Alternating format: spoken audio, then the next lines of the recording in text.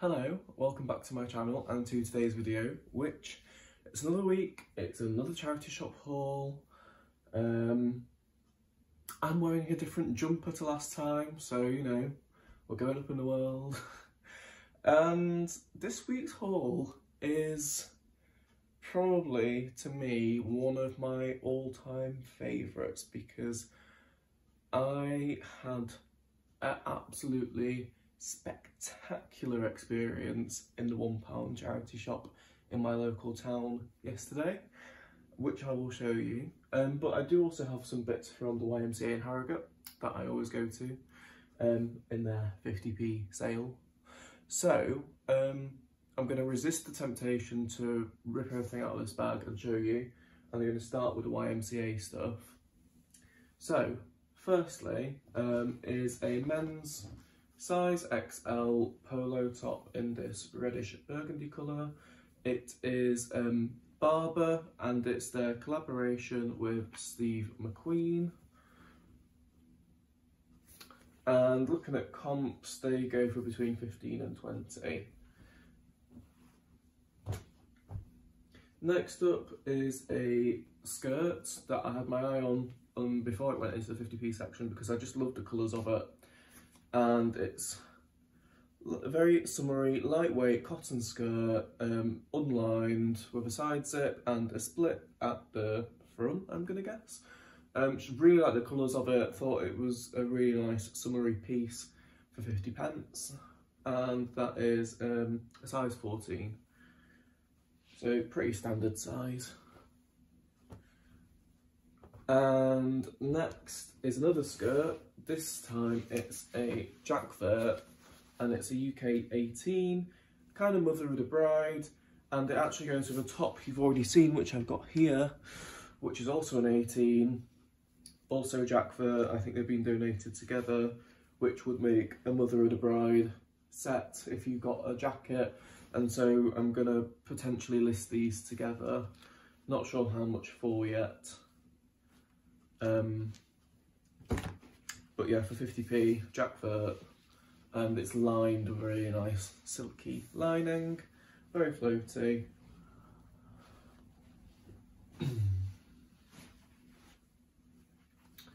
then there's a pair of Fat Face jeans. They are a size 18 in this burgundy purple colour.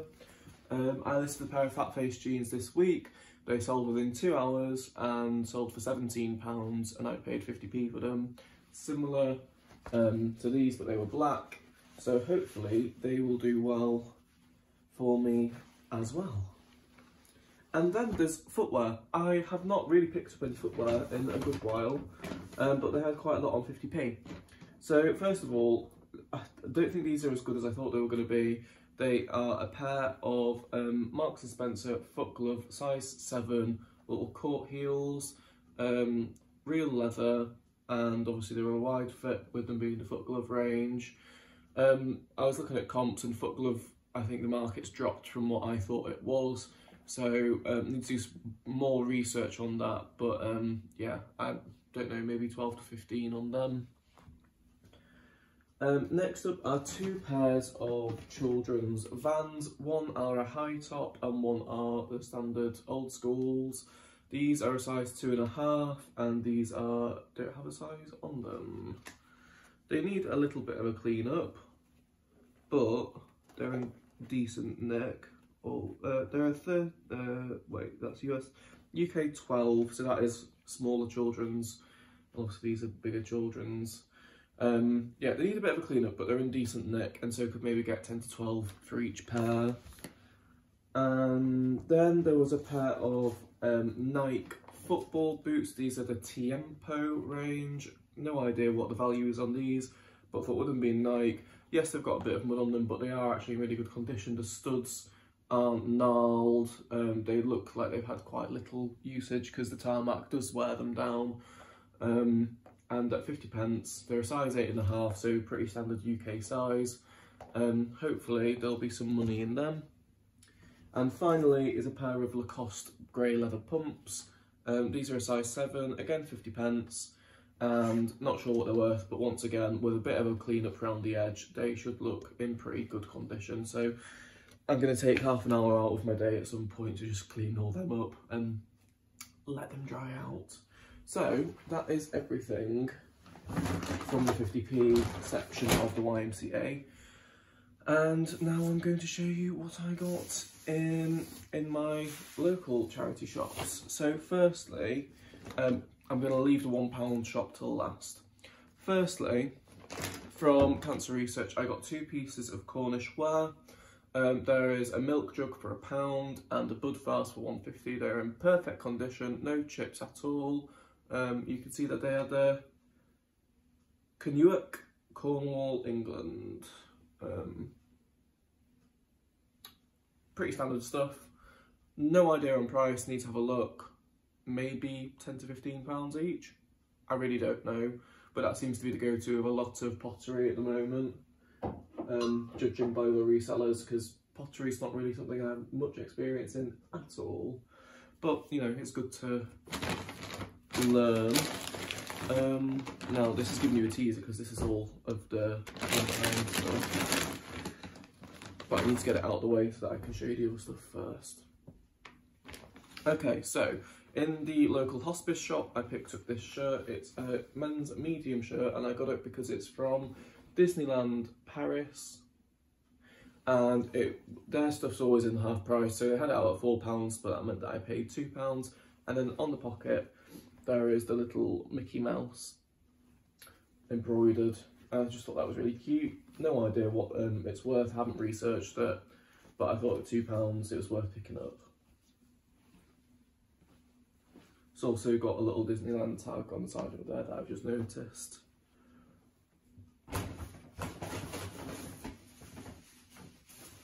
And then from the RSPCA shop, um, I found a new reseller on YouTube in the last couple of weeks and I'm really sorry I've forgotten her name, but I will link her channel below. She's quite new, she's done really well. She's already um, close to 500 subscribers and she's only been going a few weeks, but her videos are really good because they're sort of quick, snappy videos. Um, and she picks, her main deal is picking up tech and games and flipping them over for really quick returns which is something that um, really got me thinking because I, I felt that I need stuff on my eBay that's going to sell quickly to help produce some more sales from the stuff that's stuck. And so I thought maybe some games would help that. So these were all either £1 or £1.50 each from um, the RSPCA and they're all Nintendo Wii games. So the first one is Disney Infinity, that was a pound, or Disney Infinity 2.0. And it's got its booklet and the disc in there. Um, and the discs in good condition. I didn't check them all because I couldn't be bothered. Uh, next up is Tiger Woods PGA Tour 2008 for a pound. And they also had the 2007 one. So perhaps I could list them together. They were both a pound. And let's see. Booklet disc isn't, mm, no, it's not scratched. And the other one, again, booklet and disc in, yeah, good condition. Then we have something I've never heard of, which is Link's Crossbow Training. Um, that sounded quite fun. And again, booklet and disc. And then I had this game myself when I had a Wii, and it's the Carnival games. I think, I do believe, back in like 2007 when they were really popular, this was one of the games that you could get in the bundle when you bought the Wii originally, because I'm pretty sure we got it with ours. And they had this out at £1.50. And again, it's got both the booklet and the disc in there. And finally, Wii Fit Plus. So this um, is to go with if you got the balance board. And again, booklet and disc. So, no idea on resales. Having watched, oh, I'm really sorry I can't remember her name, um, her channel, a lot of them are sort of only sort of five or six pounds, some of them eight or nine pounds, and then you get a couple that are like 20 quid. So I need to do my research on them. From like just having had a Wii myself, I'm pretty sure they're all quite generic games. Although this one, sorry, this is for Wii U, not Nintendo, not the normal way. And with it being Disney Infinity 2.0, which looks like the better one, judging by that chart, is leading me to believe that that might actually be worth some half decent money. Um, I will let you know. I am, I've decided that I am going to set up a separate Instagram account for my reselling stuff um, and see how that goes. Um, so yes, right, now onto the bit that I'm buzzing to show you is the one pound Martin House clothes that I picked up yesterday and I'm just going to get cracked on because there's 18 items here. So firstly, we have a really nice black dress with Peter Pan collar and lace detail and it's by Roman. Um, I believe that it is a size 14 correct? Yep, size 14. And uh, main body of the dress is in this really lovely scuba detail, uh, scuba material, three quarter sleeves, um, just a really nice classy dress. Um, I need to think of some good keywords to list that with to get the views on that. Next is this jumper. This is Pure Collection, 100% cashmere, button detail on the shoulder, UK 16 Navy, one British pound. I couldn't believe it. Could not believe it. That's like easily 25 quid right there. Next is a pair of wool blend trousers. These are Monsoon. They are a UK 12. Really nice condition, wide legged, um, lined inside with a really nice satin lining. Um, look pretty modern given by the Monsoon tag. Um, really nice trousers. I did have a look, but they didn't have like a jacket or something that went with them because I thought that could have made a really nice um, suit for a woman. Next up is a piece of mint velvet and it's this lightweight knit grey marl jumper with um, these beads all in the front of it. It does have a stain there that you can see hopefully and I'm just going to try and soak that out. Now they've cut the size label out for whatever reason but hopefully it'll still be in the materials label at the bottom which has also been cut out. Brilliant. Okay, we're going to have to do some measuring on that one and just give it a rough size. But that to me looks like it probably would have been a large or an XL, given Mint Velvet's usual go-to sizing. Next up is a piece of Phase 8. This is a size 14 and um, it's a bat wing, lightweight knit top. Not quite a jumper really, it's not thick enough to be a jumper. And it is viscose, wool and nylon, 24% wool, so I, that's a decent wool blend at least. Um, but yeah, it does feel like nice conditions to be fair. And really nice for spring when it's still a bit nippy outside, but you want something that's got some warmth to it. Next up is more of a summery piece, again, phase 8, and this reminds me of the sort of typical blue china where the pattern on it, really pretty pattern, They've cut the size label out of it, um, which is really annoying. Why have you done that? And it doesn't actually say, oh wait, UK 16, thank the Lord, because I can't be asked measuring it all, but it was still too good to pass up for a quid. Yeah, UK 16, 100% cotton, so nice material again, um, lightweight summery top. And this is what I wanted. I wanted some really nice summer pieces to go on my store as we move through into spring.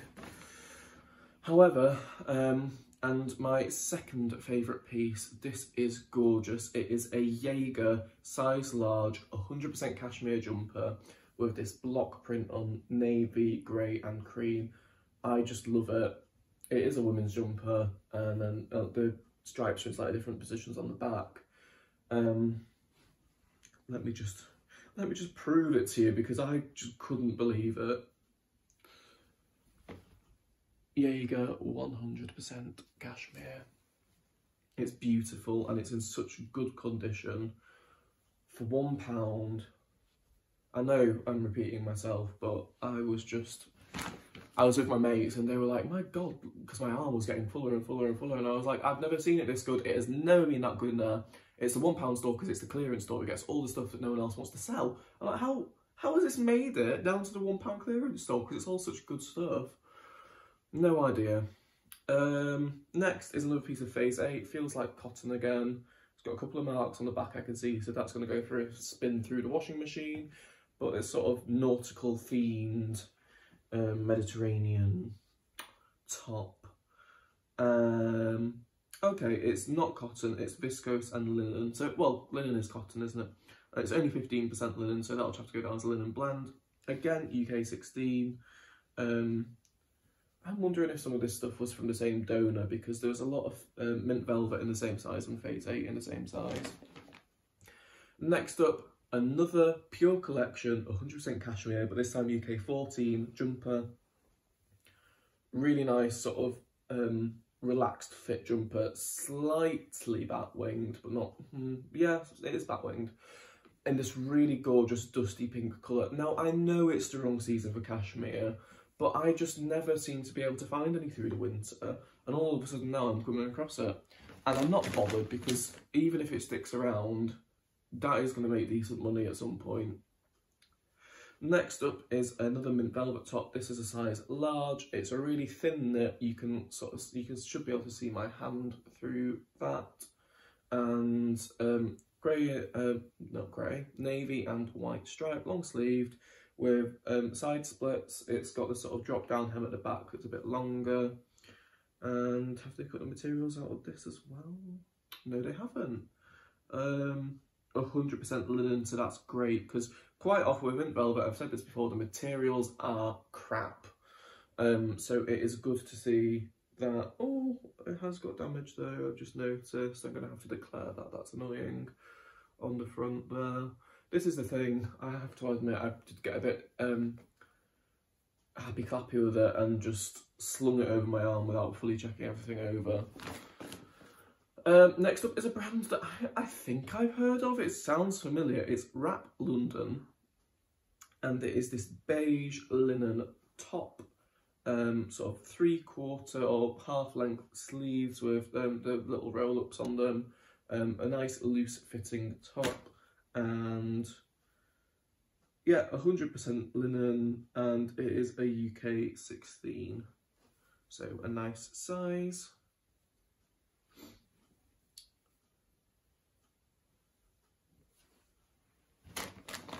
Then there is um, a piece of white label by the White Company, brand new with tags. It was £35 originally, a navy top, 100% cotton with the sort of tie from one pound, amazing. Probably go somewhere between 20 and 25 on that. Just a simple navy top, really nice quality because it's the white company. Then there was a pair of Next 100% linen grey trousers. These are a UK 14 regular length trouser, RRP 30, They'd gone down to 14 quid in the next sale, and obviously I got them for one pound. But the good thing is that it's got a perforated tag, so I can remove any sign of a price on these, because that can actually stop you achieving a better price if people know how much they were originally, because they're thinking, oh, well, I'm not actually getting that much of a bargain. Um, not sure how much they're worth, though, need to look at comps. Then we have another piece of Phase 8. It is a white linen tank top, um, a decently thick material. It's a double layer with a scalloped hem around the bottom, so that's some nice added detailing. It's not double layer, sorry, it's lined. Um, and 100% linen, and it is a UK 16, I'm going to guess. Uh, come on. This one doesn't bloody say.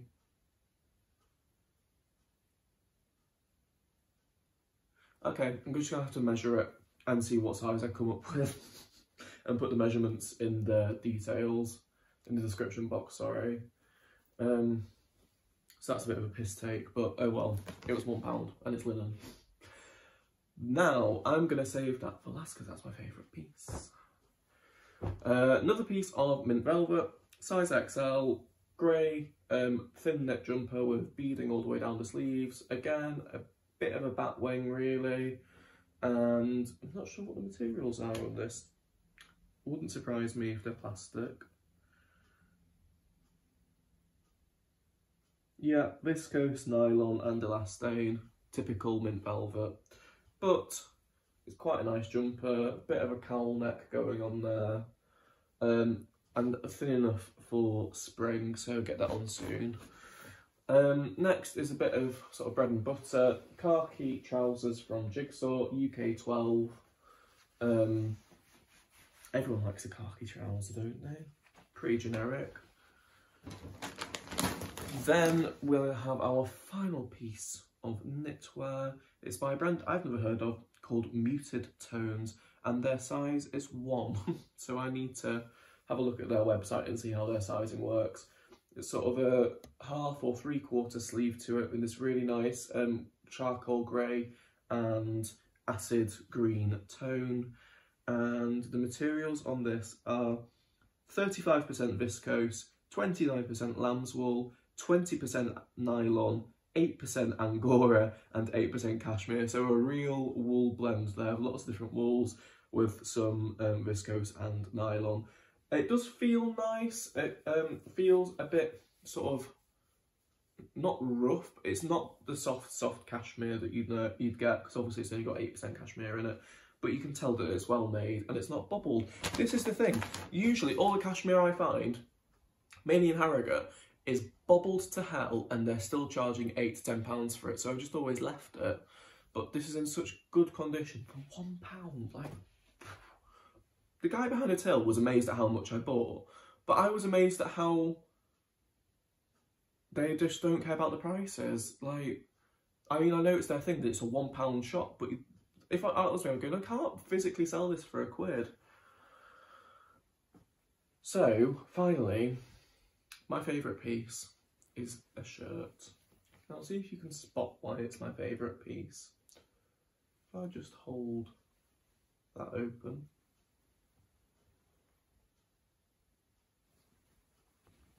Liberty. A men's Liberty shirt. Liberty London. One British pound. Really nice blue and white pattern to it. Really good quality.